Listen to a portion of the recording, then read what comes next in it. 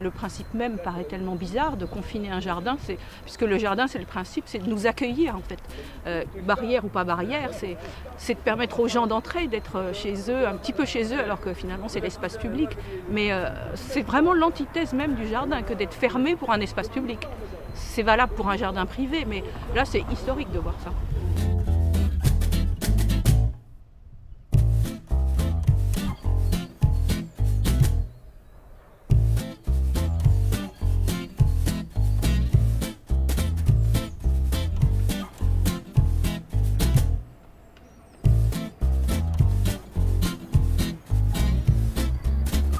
On a l'impression qu'il y a une, sérénité, plus de sérénité.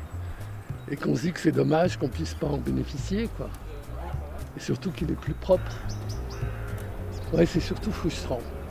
Frustrant de se dire que voilà, il y a quelque chose qui nous tend les bras et puis qui est inaccessible.